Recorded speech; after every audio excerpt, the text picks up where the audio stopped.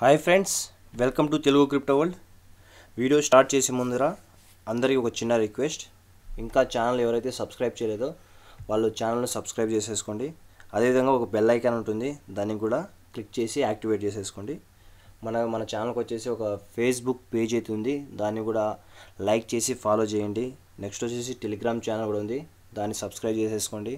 So Telegram ఛానల్లో నేను crypto currency సంబంధించిన ట్రేడింగ్ సిగ్నల్స్ అనేది నేను మీకు ఫ్రీగా అందిస్తాను అక్కడ.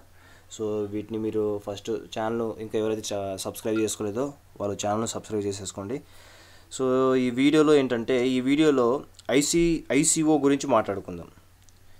ఫ్రెండ్స్ ఇటువంటి వీడియోస్ నాలెడ్జబుల్ వీడియోస్ ఎవరు మీకు క్రిప్టో కరెన్సీ సంబంధించి ఎవరైతే మీకు ఇవ్వరు సో ఈ వీడియోను మీరు ఫస్ట్ నుంచి లాస్ట్ వరకు చూడండి.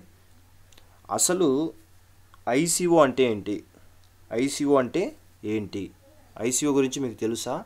ఒకవేళ తెలిస్తే నాకు కామెంట్ చేయండి. వీడియో చూడకముందు మీకు తెలిస్తే నాకు కామెంట్ చేసి చెప్పండి. సో ఐసీఓ అంటే ఇనిషియల్ కాయిన్ ఆఫరింగ్ అంటాం. సో ఐసీఓ అంటే full abbreviation initial coin offering అంటాం. దీని గురించి కొద్దిగా డీటెయిల్గా చెప్తాను. ఏదైనా మార్కెట్లో అంటే కాయిన్ మార్కెట్లో వచ్చే ముందు కాయిన్ అంటే ఆల్ట్ కాయిన్స్ అనమాట సో ఆల్ట్ కాయిన్స్ అంటే మీకు ఆల్రెడీ తెలుసు నేను చెప్పాల్సిన అవసరం లేదు. అనుకుంటున్నాను. కాయిన్ మార్కెట్లోకి వచ్చే ముందు టోటల్ సప్లై ఉంటుంది కదా సో సపోజ్ చెప్పుకుంటే ఇథేరియం కాయిన్ ఉంది. సో కొన్ని వేల అదే కొన్ని కోట్ల సారీ కొన్ని కోట్ల కాయిన్స్ అనేది సప్లై ఉంటుంది. ఓకే దాన్ని బేస్ చేసుకోండి. కొన్ని టోటల్ సప్లై నుండి కొంత భాగం అనేది ఐసీఓస్ కొంత భాగం తక్కువ ధరకు అందిస్తారు. దీన్ని మనం ఏమంటామంటే దీన్ని కొన్న తర్వాత వాళ్ళకు వచ్చే మనీని క్రౌడ్ ఫండింగ్ అంటాం. దీని ద్వారా ఏమవుతుందంటే మనలాంటి వారి నుండి వాళ్ళకు డబ్బు అనేది అందుతుంది. మిగతా భాగాన్ని మిగతా భాగం ఉంటుంది కదా మనం కొంత భాగం కొన్న తర్వాత మిగతా భాగాన్ని ఏదైనా ఎక్స్చేంజ్లో ఆ ఐసీఓ వాళ్ళు టైఅప్ అవుతారు. అంటే టైఅప్ అవ్వటం అంటే మీకు తెలిసిందే. సో టైఅప్ అయిన తర్వాత అక్కడ ఏమవుతుందంటే ఆ పర్టికులర్ ఐసీఓ కాయిన్ మీద ట్రేడ్ అనేది మనం చేయొచ్చు. మీకు అర్థమవుతుంది అనుకుంటా సో ఆ పర్టికులర్ కాయిన్ మీద మనం ట్రేడింగ్ అనేది చేయొచ్చు. ఐసీఓ వాళ్ళు టైఅప్ అవ్వడం ద్వారా ఏం జరుగుతుందంటే పర్టికులర్ ఎక్స్చేంజ్లో రేట్ అనేది ఎక్కువ ఉంటుంది. సో మీకు చెప్పిన అర్థమవుతుంది అనుకుంటా. పర్టికులర్ ఎక్స్చేంజ్లో ఆ ఐసీఓ యొక్క కాయిన్ అనేది రేట్ ఎక్కువ ఉంటుంది. సో ఫర్ ఎగ్జాంపుల్గా చెప్తే స్టార్టింగ్లో మీరు ఐసీఓ లాంచ్ అయినప్పుడు ఫ్లాష్ సేల్ అనేది జరుగుతుంది. కొంత భాగం అనేది మనకు అమ్ముతారు కదా దాన్ని మనం ఫ్లాష్ సేల్ అంటాం. ఆ ఫ్లాష్ సేల్లో మనం కాయిన్స్ ఫర్ సపోజ్ వన్ డాలర్కి మనం కొనుక్కున్నాం అనుకోండి కొన్ని నెలల తర్వాత ఆ కాయిన్ అనేది ఏదైనా ఎక్స్చేంజ్లో ఉన్నప్పుడు దాని రేట్ అనేది మనం వన్ డాలర్ కొన్నాం అక్కడ రేట్ అనేది టూ డాలర్ లేకుంటే అంతకు మించి ఉంటుంది. సో మీరు ఒక హండ్రెడ్ డాలర్ ఇన్వెస్ట్ చేశారనుకోండి ఇప్పుడు హండ్రెడ్ డాలర్ ఇన్వెస్ట్ చేశారు పర్ కాయిన్ వచ్చేసి వన్ డాలర్ ఉంది సో ఇప్పుడు కాయిన్ వచ్చేసి టూ డాలర్ అయింది అక్కడ. సో అలా రేట్ అనేది ఎక్స్చేంజ్లలో ఇంక్రీజ్గా ఉంటుంది. ఇలా మనం ఐసీఓ నుండి ప్రాఫిట్ అనేది ఎక్కువగా మనం జనరేట్ చేయొచ్చు. నీకు మీకు చెప్తుంది అర్థమవుతుంది అనుకుంటా. సో దీనివల్ల ఏమవుతుందంటే ఐసీఓస్లో ఇన్వెస్ట్ చేయడం ద్వారా మనకు ప్రాఫిట్ అనేది ఎక్కువగా జనరేట్ అవుతుంది. నవిడేస్ ఏమంటే ప్రతిరోజు వంద లేదా అంతకు మించి ఐసీఓస్ వస్తున్నాయి. ఏ ఐసీఓ జెన్యునో ఏ ఐసీఓ ఫేక్ అనేది మనం చెప్పలేకపోతాం. ప్రతి వంద ఐసీఓలో ఏం జరుగుతుందంటే నైంటీ పర్సెంట్ ఫేక్ ఉంటాయి. Ten percent ten only ten percent మాత్రమే జెన్యున్గా వర్క్ చేస్తాయి. సో చాలా కేర్ఫుల్గా ఉండాలి. మనం ఏదైనా ఒక జెన్యున్ ఐసీయూలో ఇన్వెస్ట్ చేస్తే ఒక జెన్యున్ ఐసీయూలో మనం ఇన్వెస్ట్ చేసినట్లయితే మన ఇన్వెస్ట్మెంట్ను హండ్రెడ్ ఎక్స్ చేసే సామర్థ్యం ఐసీఓకి ఉంది. అంటే మన ఇన్వెస్ట్ను వంద రెట్లు పెంచగల సామర్థ్యం అనేది ఐసీఓస్కి ఉంది. అవును గ్యారంటీగా ఉంది. మన ముందున్న టార్గెట్ ఏంటంటే ఒక మంచి ఐసీఓను మనం గుర్తించడమే.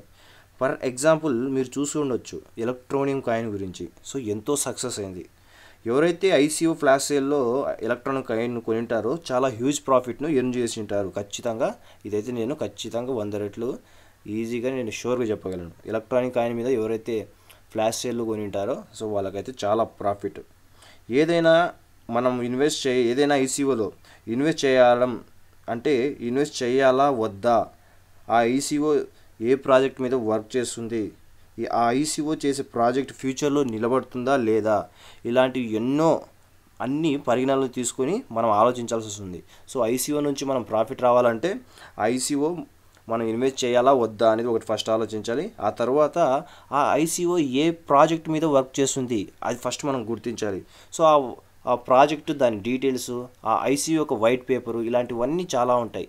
ఇలాంటి చాలా అన్ని ఫ్యాక్టర్స్ని మనం పరిగణలోకి తీసుకొని దాని గురించి ఆలోచించి ఆ ఐసీఓ జెన్యునా? కాదా? ఇలాంటివన్నీ మనం తెలుసుకొని దాంట్లో మనం ఇన్వెస్ట్ అనేది చేయాలి. సో టూ థౌజండ్ సెవెంటీన్ అదేవిధంగా మనం ఇప్పుడు చూస్తున్న టూ థౌజండ్ ఎయిటీన్ అయితే ఈజీగా నేను చెప్పే విషయం ఏంటంటే ఈ two thousand seventeen two thousand eighteen అనేది ఐసీఎస్కు మంచి భూమి ఇచ్చిన ఇయర్స్ ఇవి.